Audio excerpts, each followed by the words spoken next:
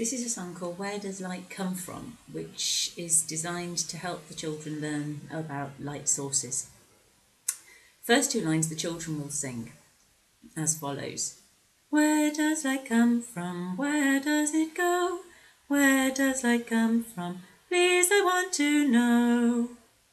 The teacher then says, Good question, children, and answers in the same vein. Where does light come from? Where does it go? Where does light come from? Please let me show. Followed by, it comes from a light source, that much I know. It comes from a light source, and from the source does flow.